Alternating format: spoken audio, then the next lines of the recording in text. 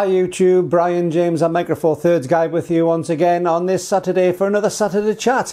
I hope everyone's well. I hope everyone's uh, enjoying the little bit of sunshine. At least that's what we had here today, so it's it's good. Um, couple of things. I've been looking through some of the uh, the comments on the posts. I read as many of the comments as I possibly can. So to all of you, thank you very much for leaving the comments. And if there's anything you do want to comment amongst these videos, please leave a, a comment below on this. I'd really be uh, pleased to see your comments come through. I do read them all. I can't answer them all, um, but um, I usually manage to read almost all of them if I can. And there's some really interesting comments come through. But there was one came through a little bit earlier today, which um, stopped and made me think, and it was from a guy called Timothy Latour.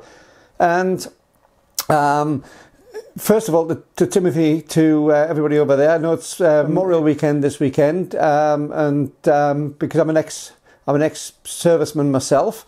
Uh, I'm a service veteran of the Royal Air Force, but I also managed to serve for five years alongside colleagues in the United States Air Force.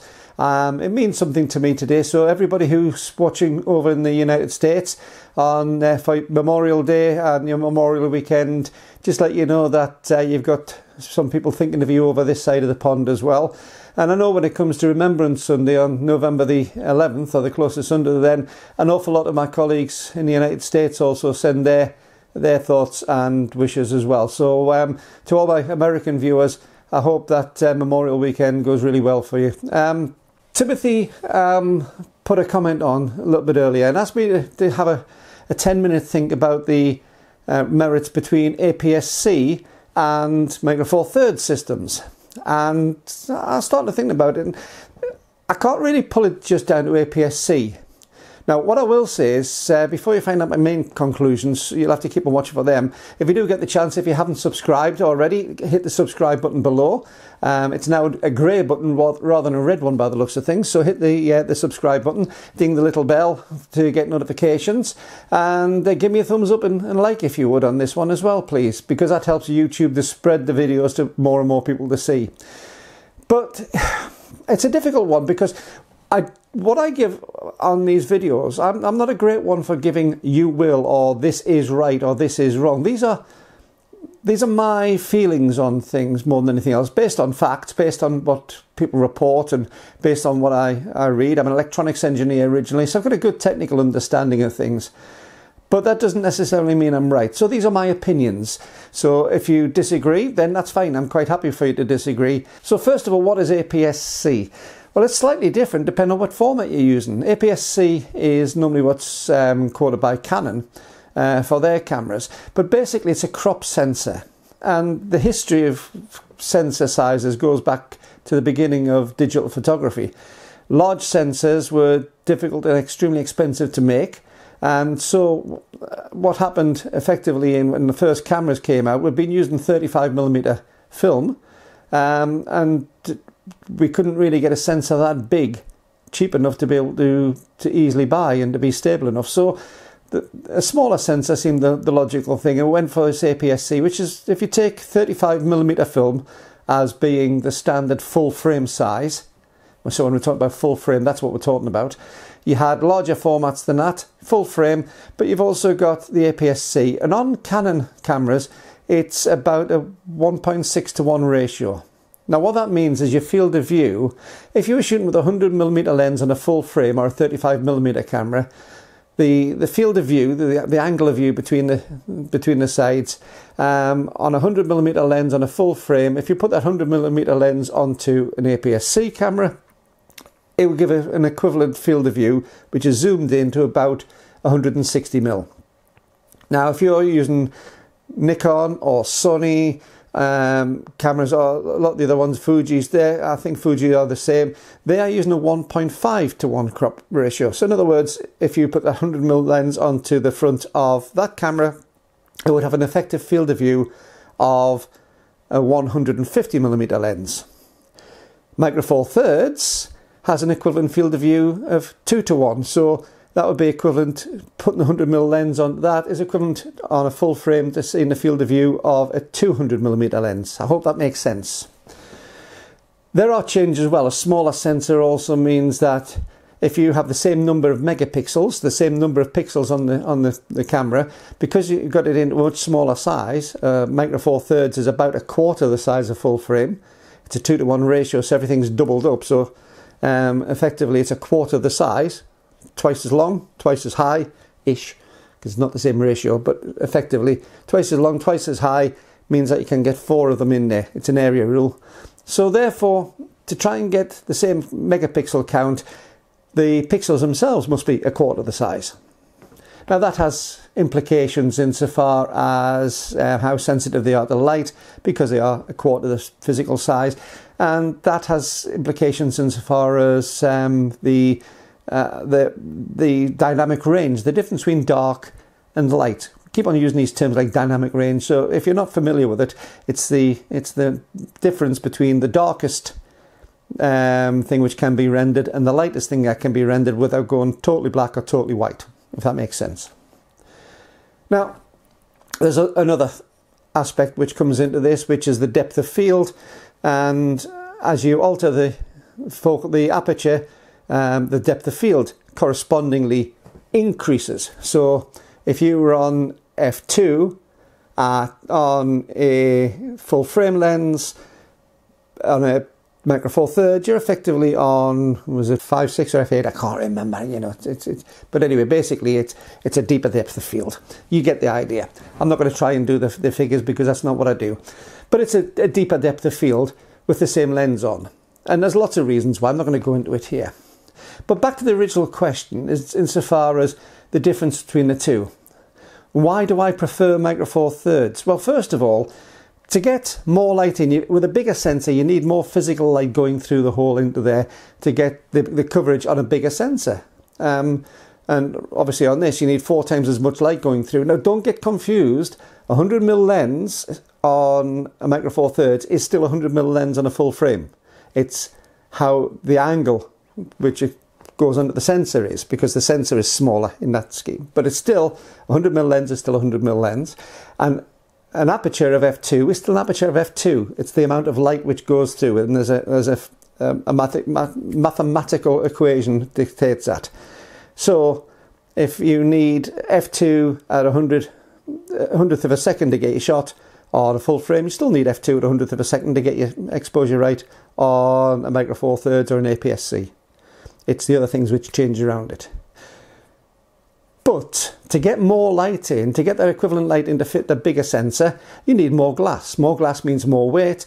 More weight means um, harder to carry, larger, longer, whatever it is. And this is why Micro Four Thirds to me is a really good system. The cameras themselves, some of the mirrorless cameras now on the full frame aren't any bigger. In fact, some are smaller than some of the Micro Four Thirds cameras. The, the G9, which I'm um, taking this video on at the moment, is quite a physically large camera. It's quite heavy, it's magnesium bodied, but it's solid. It's, it's, a, it's a big solid camera in the hand.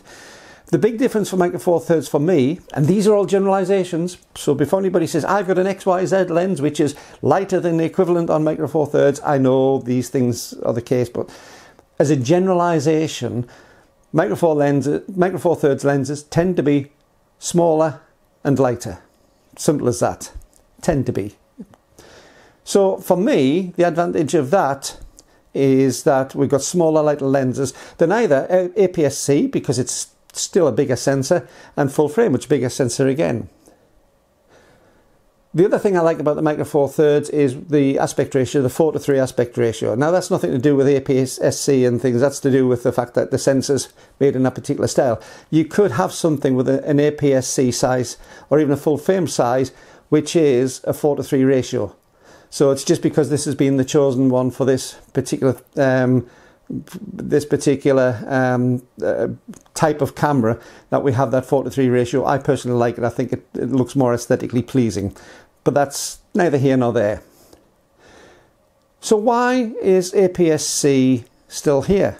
There's an interesting thing because APS-C cameras tend to be the, the cheaper cousins of the full frames in very similar bodies. Um, uh, for instance, I've been out shooting today on a Canon 7D, which is a, an APS-C camera, and it was almost identical size to the 5D Mark II full frame that I had. So what's the advantage and disadvantage? Well, obviously APS-C spe specific lenses tend to be smaller than the full frame equivalents, and that's fine because in the same way as I've just said about the micro four thirds, APS-C is is comparatively smaller than a full frame for what needs to come through. But most APS-C cameras and full frame cameras will share a common mount. Now in the Canon, an APS-C mount, for instance on the 7D, will take the full frame, the EF lenses, which fit the full frame cameras. But they also have a, a slightly different mount, and this is to do with the distance between the mirror and the back of the lens because these things come together uh, to stop them hitting each other. If you get um, EFS lenses, which will only work on APS-C cameras. Nikon have a similar sort of thing with their DX lenses, and it, it basically these are the lenses which are designed specifically to go on to APS-C cameras in the range uh, with that mount. But the Canon and the Nikon both have a, a, a similar, uh, both have a joint mount which will allow you to use the APS-C specific or the full frame. And the full frame one, Canon for instance, I'll, I'll, refer to Canon because that's what I'm used to using. Canon would have the L series lenses which will work on any of the standard APS-C and full frame bodies. So you could be using an L series lens which is considerably bigger because it's got a bigger um, sensor again to fill or the EFS lenses which are specifically designed for the APS-C. But this brings us into a situation now where we are changing. I think the world is changing in a big way. Full frame cameras are coming down in price. They're coming down in size, camera body wise at least. So where the price advantage used to be on the um, APS-C cameras, it's becoming less and less obvious the starting level of the Canon mirrorless cameras are considerably lower. And the other thing is as well with mirrorless cameras, there are less moving parts. You don't have the mirror box and things in the way there. And you've got more choice of lenses because um, you're not having that mirror. The mirror was a limiting factor for putting a, an, an AFS lens on. Although it's where it actually hits the sensor, you can get to the point where it's too narrow, the output from the lens to fill the whole sensor. So there are difficulties on that. But I'm presuming, and this is a presumption, this isn't fact, don't go out and quote me on it, it's not guaranteed on this. But I'm thinking that you will find less and less investment in APS-C and more and more investment in full frame. Now, there are differences on that because the Fuji, the XT sort of lens on the Fuji are very much on, on a crop sensor uh, platform and they are very, very successful. So you're not going to see the end of it. But the Micro Four Thirds for me fits, it's good. And for me, I wouldn't personally be looking at another APS-C type camera. If I was going back to the, the larger sensors, I would be going for another full frame again, if that were the case, with the limitations, because the APS-C is not giving me any of the, particularly any of the size advantages. Uh, it is giving us a price advantage, but it's not giving the size advantages for me. Quality wise, well, there is a quality insofar as an APS-C will still give a better um, dynamic range. It will tend to um, be better in low light conditions than a Micro Four Thirds, but it won't be as good in low light conditions as a full frame. All these things are advantages and disadvantages. Personally, I find with the advancement, what's happening insofar as artificial intelligence, AI, what's coming through from the, the camera phone industry, I think it's going to nullify an awful lot of problems uh, in the near future. There's going to be an awful lot done in the camera even in the DSLRs, sorry, in the mirrorless, I'm, I'm going to discount DSLRs for the moment because effectively I think they're on the way out. But the in the um, in the, the, the standard sort of camera, what is constitutes a standard camera? I think the AI side is going to really start coming in and um, open the game somewhat. So where we had low light problems on any of the sensors, they're just about going to go. If you think about how big a sensor on a mobile phone is, it's you know we're, we're, talking about a different sort of league but then they're using multiple lenses and multiple sensors and additive um, systems to put them together so it's a little way down the line i think on that i did say about depth of field and of course as you go up towards the full frame so from micro four thirds up to aps-c and then to full frame you are going to have that much shallower depth of field at uh, open f-stops. So when you get to the uh, f1.8s, f2s, you're going to have a much shallower depth of field. And for things like portrait photography, where you really want to separate the background from the foreground, that's great. But we always go on about the the, sharp, the, the depth of field differences on smaller sensors like the APS-C and the Micro Four Thirds has been a bad thing. But it's not always that way. If you're shooting landscapes or if you're shooting something which requires a really wide depth of field, then the Micro Four Thirds and the APS-C have an advantage over the full frame. You've, you know, if you're shooting something which is at f16, if your lens will only go to f16, f16 on an APS-C compared to full frame is going to give you an even better depth of range, a depth of field. So something really close is going to be in focus and out to infinity. On Micro Four Thirds, the theory says that even closer will be in focus out to infinity on f16. So when we look on one thing being a, a, an advantage or and a disadvantage, for different shooting styles, they can turn, and what was a disadvantage is actually an advantage to you. So, the conclusion what's the difference between Micro Four Thirds and APS-C? No, no different to what it is between full frame and APS-C, and we've lived with that for the last 20 years. So, uh, my general word on this is if you are using APS-C, if it is doing what you're happy with, carry on using it. Don't change format just because some guy in a video tells you that that's going to be better or worse. You've got to work out what it is. And remember, if you bought a camera which was a really good camera five years ago, it doesn't stop being a good camera five years later just because of time. What happens is technology around it changes and the extremities of that technology will allow other things to happen. But a good camera is still a good camera. So long as it's taking the shots and working properly, it's still a good camera. And if you are happy with an APS-C format and it does everything you need it to with the lenses that you have and you're happy with the weight and you're happy with the size and you're happy with the results of the output from that sensor, then you have the right camera for yourself. If you are using Micro Four Thirds, then again, if it's good weight, good size, and everything's working properly and, every, and it's giving you the results for the photographs that you want to take, then it's a good camera and it's the right camera. That goes for anything. You see, the thing is that even if you were to compare a full frame camera or an APS-C camera to a medium format, you would really say that the full frame camera has a lousy depth of field compared to the medium format because a medium format with an equivalent lens will have an even shallower depth of field. So it's all relative. So my conclusions, stick to the camera you've got if you are wanting to change to a different format, work out what advantages you're going to get from that format and disadvantages you're going to get from that format and play to those. It may be you go in opposite direction to what I've done with the Micro Four Thirds. But the Micro Four Thirds for me, compared to APS-C, compared to full frame, compared to medium format, the Micro Four Thirds is hitting what's just perfect for me and the results I get out of my cameras to me are stunning. What do you think? Leave me a comment below. I'm really interested to hear what you have to say. Um, it's it, it, it is uh, it's a controversial subject because it's subjective. It's what people feel. So leave me a comment below. Um, if you are shooting APS-C and you're happy with it, tell me why. If you are contemplating changing formats and you want to go from one to the other, again, let me know. Tell me why. I don't say that Micro Four Thirds is the perfect format for everyone. I just happened to call myself the Micro Four Thirds guy because somebody else called me that on a shoot because I was quite happily shouting about how good I thought Micro Four Thirds was. It's not the only format and it's not the only correct format.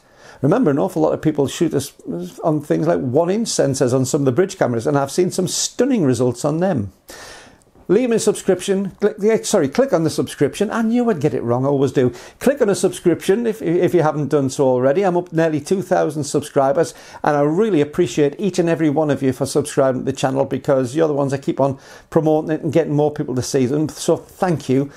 Um, if you want to see notifications sent through whenever I upload a new video, hit the little bell beside it.